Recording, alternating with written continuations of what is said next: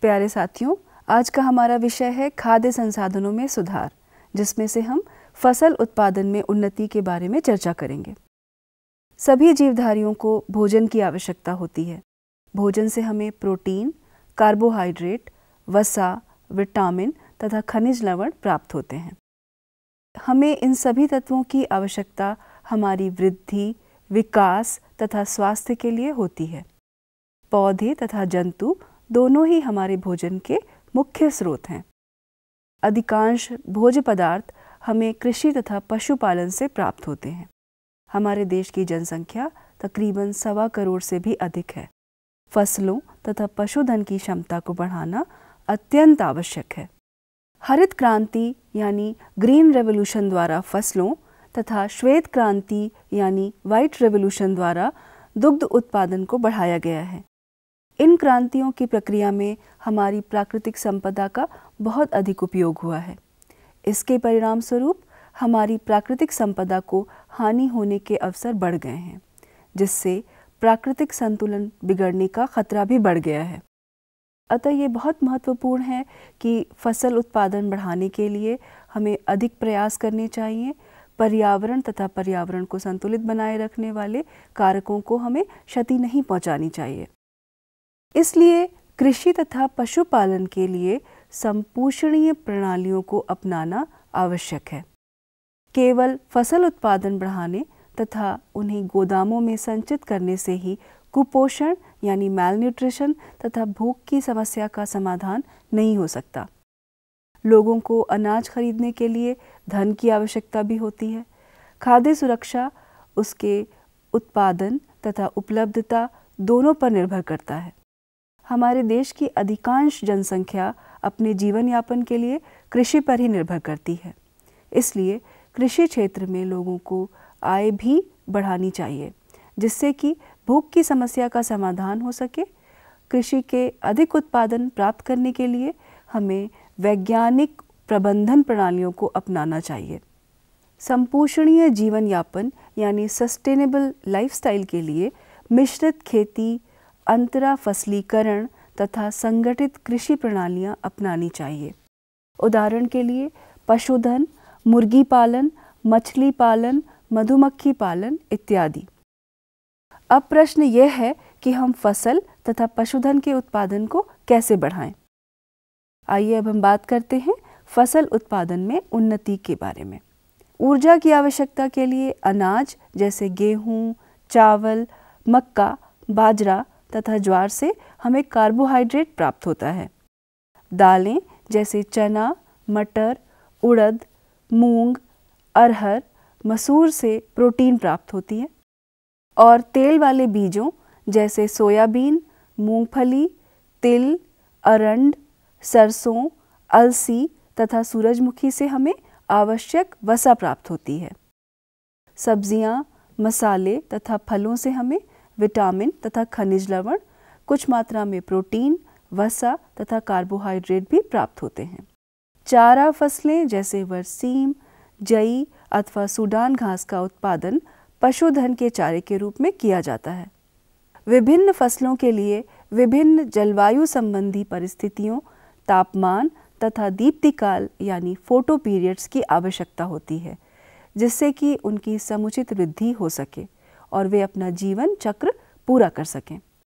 दीप्तिकाल सूर्य प्रकाश के काल से संबंधित होता है। पौधों में पुष्पन तथा वृद्धि सूर्य प्रकाश पर निर्भर करती है।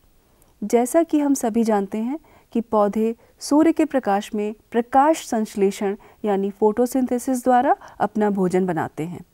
कुछ ऐसी फ़सलें जिन्हें हम वर्षा ऋतु में उगाते हैं, खरीफ फ़सल कहलाती हैं, जो जून से आरंभ होकर अक्टूबर मास तक होती हैं। कुछ फ़सलें शीत ऋतु में उगाई जाती हैं, जो नवंबर से अप्रैल मास तक होती हैं। इन फ़सलों को हम रबी फ़सल कहते हैं। धान सोयाबीन अरहर मक्का मूंग तथा उड़द खरीफ फ़सलें हैं जबकि गेहूँ, चना मटर सरसों तथा अलसी रबी फ़सलें हैं। भारत में सन उन्नीस सौ बावन से सन 2010 तक कृषि भूमि में 25 प्रतिशत की वृद्धि हुई है जबकि अन्न की पैदावार में चार गुना वृद्धि हुई है। आइए हम यह जानने का प्रयास करते हैं कि पैदावार में यह उन्नति कैसे हुई। यदि हम कृषि में शामिल प्रणालियों के विषय में सोचें तो हम उनको तीन चरणों में बांट सकते हैं। सबसे पहले है बीज का चुनना, दूसरा फ़सल की उचित देखभाल, तथा तीसरा खेतों में उगी फ़सल की सुरक्षा तथा कटी हुई फ़सल को हानि से बचाना। इस प्रकार फ़सल उत्पादन में सुधार की प्रक्रिया में प्रयुक्त गतिविधियों को निम्न प्रमुख वर्गों में हम बांट सकते हैं। पहला है फ़सल की किस्मों में सुधार, दूसरा फ़सल उत्पादन प्रबंधन और तीसरा फ़सल सुरक्षा प्रबंधन। सबसे पहले हम बात करेंगे फ़सल की किस्मों में सुधार के विषय में। फ़सलों का उत्पादन अच्छा हो, यह प्रयास फ़सलों की किस्मों के चयन पर निर्भर करता है। फ़सल की किस्मों या प्रभेदों के लिए विभिन्न उपयोगी गुणों, जैसे रोग प्रतिरोधक क्षमता, उर्वरक के प्रति अनुरूपता या अडेप्टेबिलिटी उत्पादन की गुणवत्ता तथा उच्च उत्पादन का चयन प्रजनन द्वारा हम कर सकते हैं। फ़सल की किस्मों में ऐच्छिक गुणों को संकरण द्वारा डाला जा सकता है। संकरण विधि में विभिन्न अनुवांशिक गुणों वाले पौधों में संकरण करवाया जाता है। यह संकरण अंतरा किस्मीय यानी विभिन्न किस्मों में अंतरा स्पीशीज यानी एक ही जीनस की दो विभिन्न अथवा अंतरावंशीय यानी विभिन्न जनरा में हो सकता है। फ़सल सुधार की दूसरी विधि है ऐच्छिक गुणों वाले जीन का डालना। इसके परिणाम स्वरूप अनुवांशिकीय रूपांतरित फ़सल प्राप्त होती है। नए प्रभेदों को अपनाने से पहले यह आवश्यक है कि फ़सल की किस्म विभिन्न परिस्थितियों में, जो विभिन्न क्षेत्रों में भिन्न भिन्न होती है अच्छा उत्पादन दे सके। किसानों को अच्छी गुणवत्ता वाले विशेष बीज उपलब्ध होने चाहिए, अर्थात बीज उसी किस्म के होने चाहिए जो अनुकूल परिस्थिति में अंकुरित या जर्मिनेट हो सकें। कृषि प्रणालियाँ तथा फ़सल उत्पादन मौसम, मिट्टी की गुणवत्ता तथा पानी की उपलब्धता पर निर्भर करते हैं। चूँकि मौसम परिस्थितियाँ जैसे सूखा तथा बाढ़ का पूर्वानुमान कठिन होता है, इसलिए ऐसी किस्में अधिक उपयोगी हैं जो विविध जलवायु परिस्थितियों में भी उग सकें। इसी प्रकार ऐसी किस्में बनाई गई हैं जो उच्च लवणीय मिट्टी में भी उग सकें। किस्मों में सुधार के लिए कारक हैं उच्च उत्पादन, जिसका अर्थ है प्रति एकड़ फ़सल की उत्पादकता बढ़ाना। अगला कारक है उन्नत किस्में, यानी कि फ़सल उत्पादन की गुणवत्ता, प्रत्येक फ़सल में दाल में प्रोटीन की गुणवत्ता, तिलहन में तेल की गुणवत्ता और फल तथा सब्जियों का संरक्षण बहुत महत्वपूर्ण है। इसके बाद अगला कारक है, जैविक तथा अजैविक प्रतिरोधकता। जैविक कारणों जैसे रोग, कीट तथा निमेटोड तथा अजैविक कारणों जैसे सूखा, क्षारकता, जल क्रांति, गर्मी, ठंड तथा पाला जैसी परिस्थितियाँ फ़सल उत्पादन को कम कर सकती हैं।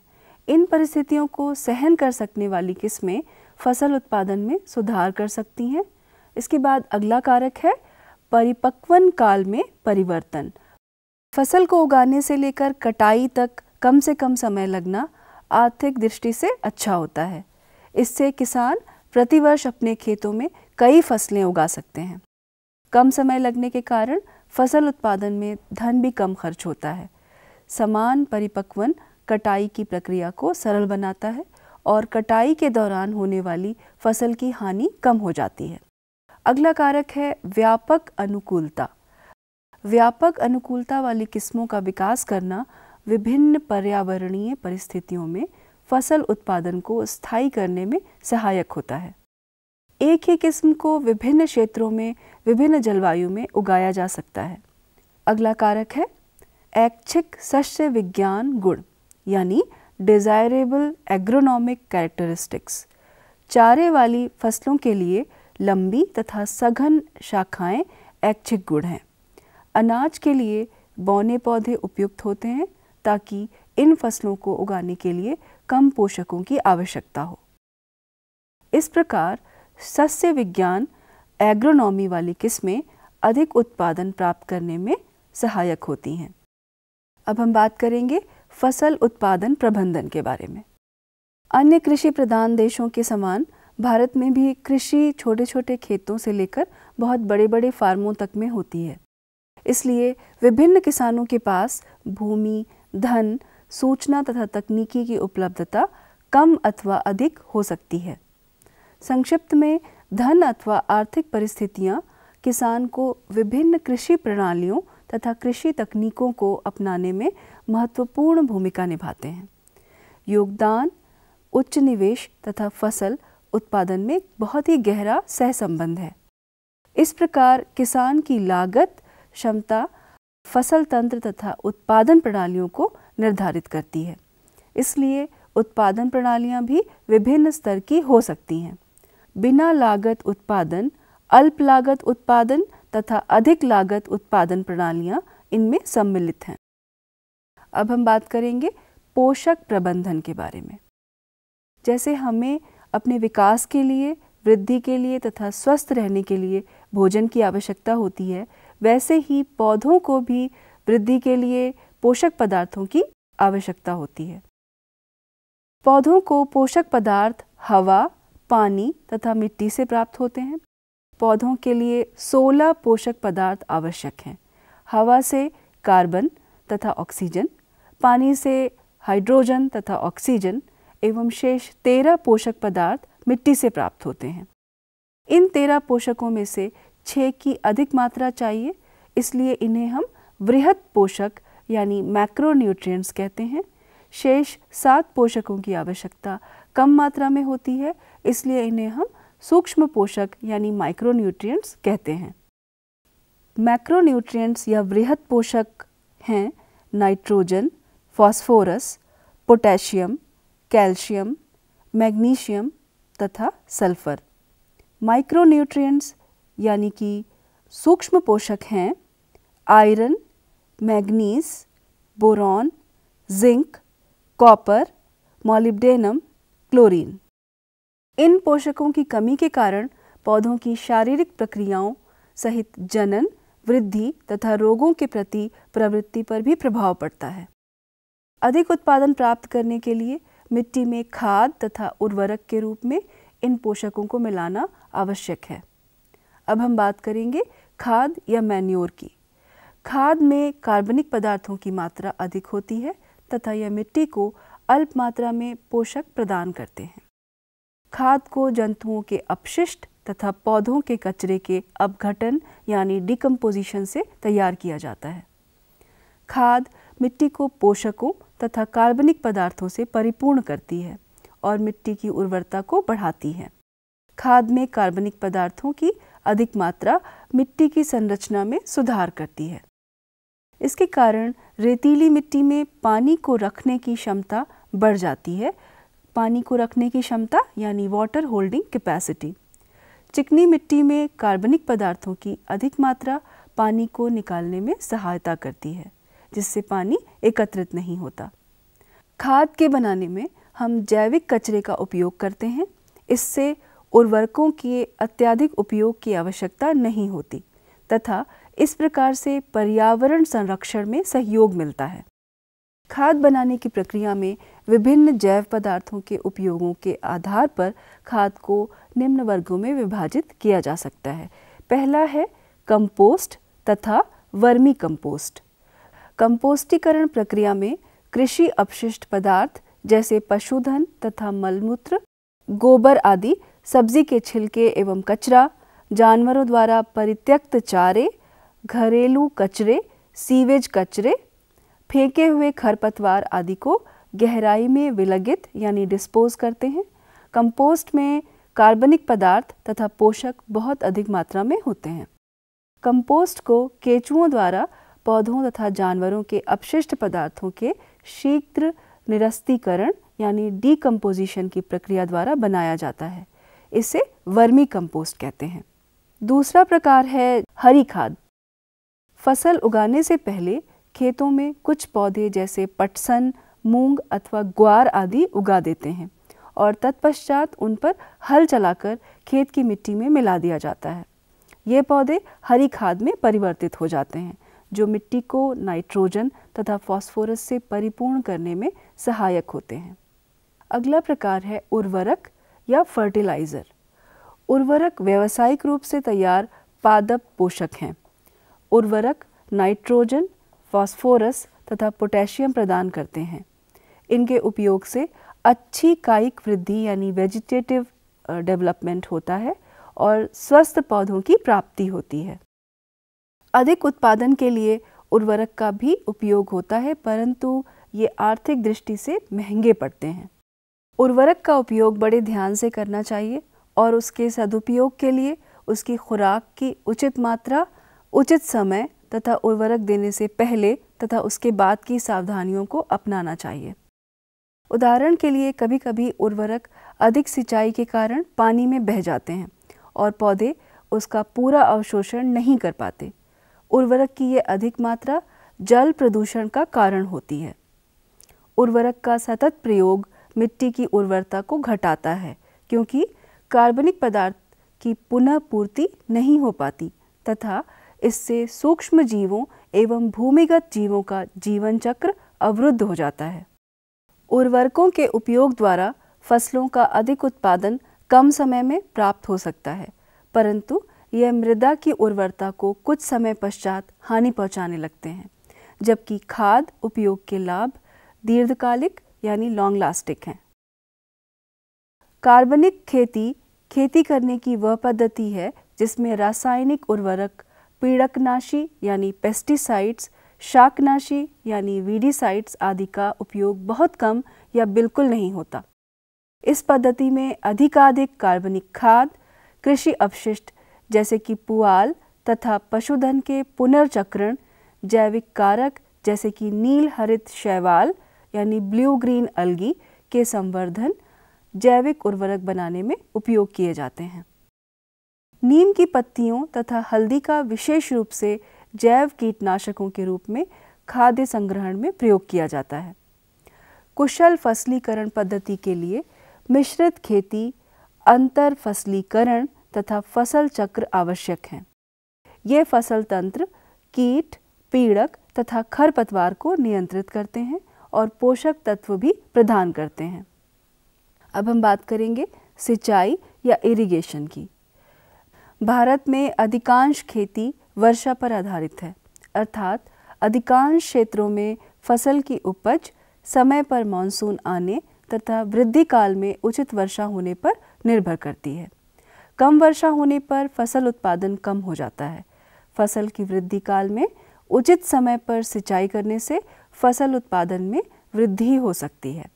इसलिए अधिकाधिक कृषि भूमि को सिंचित करने के लिए बहुत से उपाय किए जाते हैं। पानी की कमी अथवा वर्षा की अनियमितता के कारण सूखा भी हो सकता है। वर्षा पर आधारित कृषि को सूखे से बहुत हानि होती है।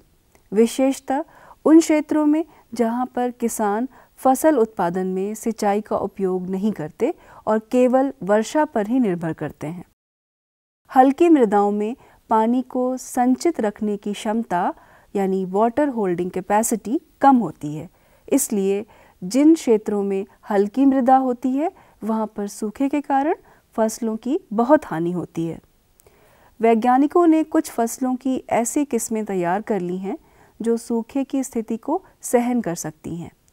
भारत में अनेक पानी के स्रोत हैं और विभिन्न प्रकार की जलवायु है। इन परिस्थितियों में विभिन्न प्रकार के सिंचाई की विधियाँ पानी के स्रोत की मौजूदगी के आधार पर अपनाई जाती हैं। इन स्रोतों के कुछ उदाहरण हैं कुएँ, नहरें नदियाँ तथा तालाब। हम बात करेंगे कुएँ यानी कि वेल्स के बारे में। कुएँ प्रायः दो प्रकार के होते हैं खुदे हुए कुएँ तथा नलकूप। खुदे हुए कुएँ द्वारा भूमिगत जल स्तरों में स्थित पानी को एकत्रित किया जाता है नलकूप में पानी गहरे जल स्तरों से निकाला जाता है। इन कुओं से सिंचाई के लिए पानी को पंप द्वारा निकाला जाता है। इसके बाद हम बात करेंगे नहरों के बारे में। यह सिंचाई का एक बहुत विस्तृत तथा व्यापक तंत्र है। इनमें पानी एक या अधिक जलाशयों अथवा नदियों से आता है। मुख्य नहर से शाखाएँ निकलती हैं, जो विभाजित होकर खेतों में सिंचाई करती हैं।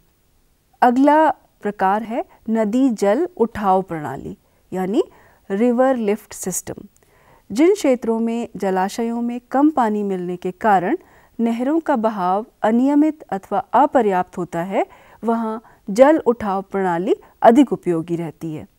नदियों के किनारे स्थित खेतों में सिंचाई करने के लिए नदियों से सीधे ही पानी निकाला जा सकता है। अगला स्रोत है तालाब। छोटे जलाशयों, जो छोटे क्षेत्रों में बहते हुए पानी का संग्रह करते हैं, तालाब का रूप ले लेते हैं। कृषि में पानी की उपलब्धि बढ़ाने के लिए आधुनिक विधियाँ, जैसे वर्षा के पानी का संग्रहण तथा जल विभाजन का उचित प्रबंधन द्वारा उपयोग किया जा सकता है। इसके लिए छोटे बाँध बनाने होते हैं, जिससे कि भूमि के नीचे जल स्तर बढ़ जाए। यह छोटे बाँध वर्षा के पानी को बहने से रोकते हैं तथा मृदा अपर्दन को भी कम करते हैं। अगली बात जो हम करेंगे वो है फ़सल पैटर्न के बारे में। अधिक लाभ प्राप्त करने के लिए फ़सल उगाने की विभिन्न विधियों का उपयोग किया जा सकता है। मिश्रित फ़सल में दो अथवा दो से अधिक फ़सलों को एक साथ एक ही खेत में उगाया जाता है। जैसे कि हम गेहूँ, चना अथवा गेहूँ सरसों अथवा मूंगफली सूर्यमुखी को एक साथ उगा सकते हैं। इससे हानि होने की संभावना कम हो जाती है, क्योंकि फ़सल के नष्ट हो जाने, यानी कि अगर कोई एक फ़सल नष्ट भी हो गई तो भी फ़सल की जो उत्पादन क्षमता है, वो कम नहीं होती और एक एटलीस्ट एक फ़सल पाने की आशा बनी रहती है।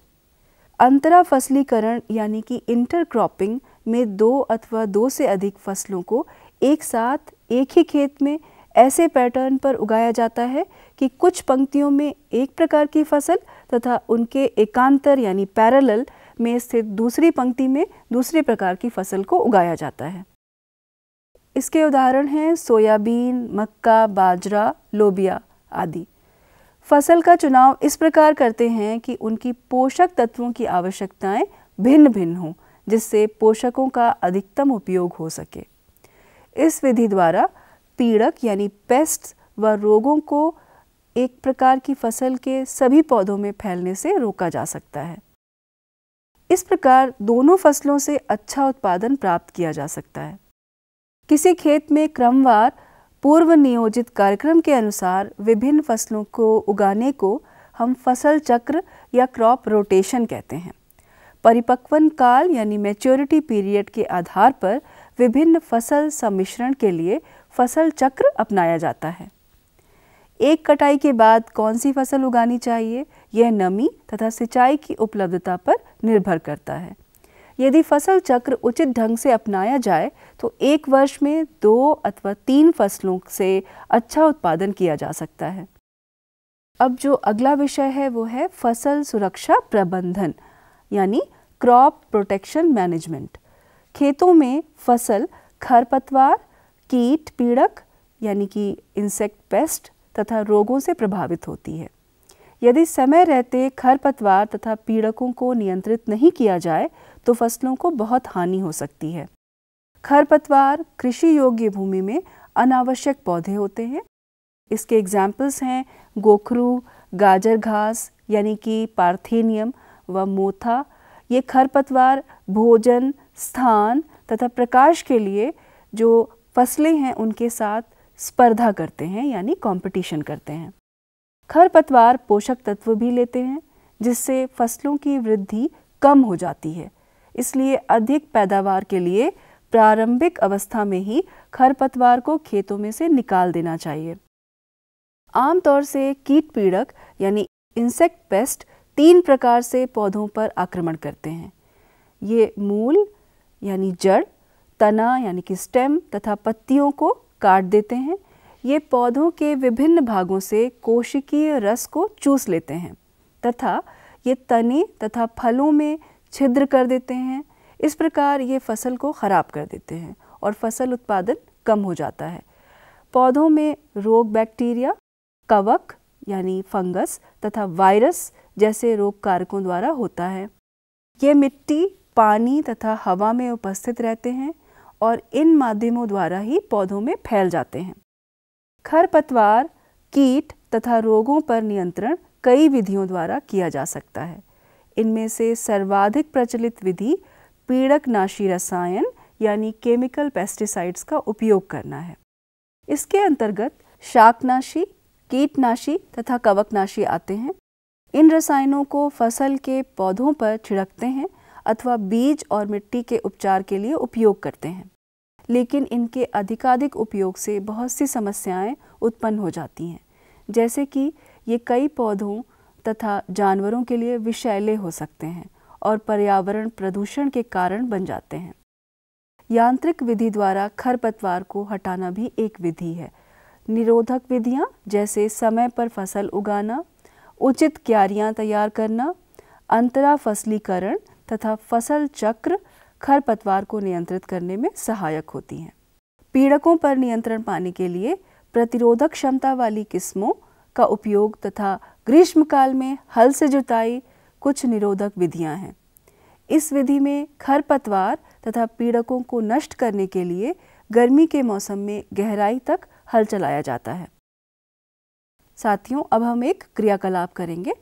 जुलाई अथवा अगस्त के महीने में खरपतवार से ग्रसित किसी खेत का ऑब्जर्वेशन कीजिए। खेत में स्थित खरपतवार तथा कीट पीड़कों की एक लिस्ट बनाइए। अब हम बात करेंगे अनाज के भंडारण, यानी कि स्टोरेज ऑफ़ ग्रेन्स के बारे में। कृषि उत्पाद के भंडारण में बहुत हानि हो सकती है। इस हानि के जैविक कारक कीट, कृंतक, यानी चूहे, कवक, चिंचड़ी तथा जीवाणु हैं। तथा इस हानि के अजैविक कारण भंडारण के स्थान पर उपयुक्त नमी व ताप का अभाव है। ये कारक उत्पाद की गुणवत्ता को खराब कर देते हैं, वज़न कम कर देते हैं तथा अंकुरण करने की क्षमता कम कर देते हैं, उत्पाद को बदरंग कर देते हैं। ये सब लक्षण बाज़ार में उत्पाद की कीमत को कम कर देते हैं। इन कारकों पर नियंत्रण पाने के लिए उचित उपचार और भंडारण का प्रबंधन होना चाहिए। निरोधक तथा नियंत्रण विधियों का उपयोग भंडारण करने से पहले किया जाता है। भंडारण से पहले उत्पाद की नियंत्रित सफ़ाई, अच्छी तरह सुखाना, पहले सूर्य के प्रकाश में और फिर छाया में तथा धुएँ का उपयोग करना, जिससे कि पीड़क मर जाएँ, सम्मिलित है। अब हम एक और क्रियाकलाप करेंगे। अनाज दाल तथा तिलहन के बीजों को एकत्रित कीजिए तथा उनके उगाने तथा कटाई की ऋतुओं के बारे में बात कीजिए। तो साथियों, हमने आज जिन विषयों पर चर्चा की, एक बार उनका पुनरावलोकन करते हैं। फ़सल के लिए कुल 16 पोषक आवश्यक हैं। हवा से कार्बन तथा ऑक्सीजन, पानी से हाइड्रोजन तथा ऑक्सीजन, एवं मिट्टी से शेष तेरह पोषक प्राप्त होते हैं। इन तेरह पोषकों में से छह पोषकों की मात्रा अधिक चाहिए, इसलिए इन्हें हम वृहद पोषक कहते हैं। शेष सात पोषक कम मात्रा में चाहिए, जिन्हें हम सूक्ष्म पोषक कहते हैं। फ़सल के लिए पोषकों के मुख्य स्रोत खाद तथा उर्वरक हैं। कार्बनिक कृषि प्रणालियों में उर्वरकों पीड़क नाशकों तथा शाकनाशकों का निम्नतम या बिल्कुल प्रयोग नहीं किया जाता है। इन प्रणालियों में स्वस्थ फ़सल तंत्र के साथ कार्बनिक खादों, पुनर्चक्रित अपशिष्टों तथा जैव कारकों का अधिकतम उपयोग होता है। एक विशेष फार्म में फ़सल उत्पादन तथा पशुपालन आदि में बढ़ावा देने वाली खेती को मिश्रित खेती तंत्र कहते हैं। मिश्रित फ़सल में दो अथवा दो से अधिक फ़सलों को एक ही खेत में एक साथ उगाया जाता है। दो अथवा दो से अधिक फ़सलों को निश्चित कतार पैटर्न में उगाने को अंतरा फसलीकरण कहते हैं। एक ही खेत में विभिन्न फ़सलों को पूर्व नियोजित अनुक्रम में उगाएँ तो इसे हम फ़सल चक्र कहते हैं। उच्च उत्पादन, अच्छी गुणवत्ता, जैविक व अजैविक कारकों के प्रति प्रतिरोधकता, अल्प परिपक्वन काल तथा बदलती परिस्थितियों के लिए अनुकूल तथा ऐच्छिक सस्य विज्ञान गुण के लिए नस्ल सुधार की आवश्यकता है।